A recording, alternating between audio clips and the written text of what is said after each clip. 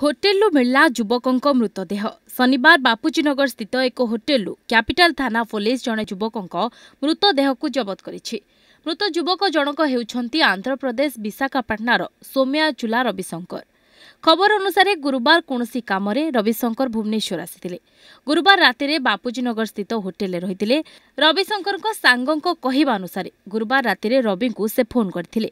ତାଙ୍କ ସହିତ କଥା ହେଉଥିବା ବେଳେ ରବିଙ୍କ ଦେହ ଅସୁସ୍ଥ ଅନୁଭବ ହେଉଥିଲା।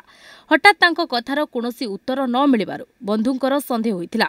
ରବିଶଙ୍କରଙ୍କୁ ବାରମ୍ବାର ଫୋନ୍ କରି ସେ ହୋଟେଲକୁ ଆସିଥିଲେ। ହେଲେ ସେ ଯେତେ ଡାକୁଥିଲେ ବି କବାଟ ଖୋଲୁନଥିଲେ ରବିଶଙ୍କର। ତେଣୁ ସେ ତୁରନ୍ତ ପୋଲିସକୁ ଖବର ଦେଇଥିଲେ। ଖବର ପାଇ କ୍ୟାପିଟାଲ ଥାନା ପୋଲିସ ଘଟଣାସ୍ଥଳରେ ପହଞ୍ଚି କବାଟ ଖୋଲିଥିଲେ ଏବଂ ରବିଶଙ୍କରଙ୍କୁ ଉଦ୍ଧାର କରିଥିଲେ। ଉଦ୍ଧାର କରି କ୍ୟାପିଟାଲ ହସ୍ପିଟାଲକୁ ନେଇଥିଲେ। ହେଲେ ସେଠାରେ ତାଙ୍କୁ ଡାକ୍ତର ମୃତ ଘୋଷଣା କରିଥିଲେ। ଅନ୍ୟପଟେ ଶବ ବ୍ୟବଚ୍ଛେଦ ରିପୋର୍ଟ ଆସିବା ପରେ ରବିଶଙ୍କରଙ୍କ ମୃତ୍ୟୁ ସ୍ପଷ୍ଟ କାରଣ ଜଣାପଡ଼ିବ ବୋଲି କ୍ୟାପିଟାଲ ଥାନା ଅଧିକାରୀ କହିଛନ୍ତି। Bureau report news eight Odia.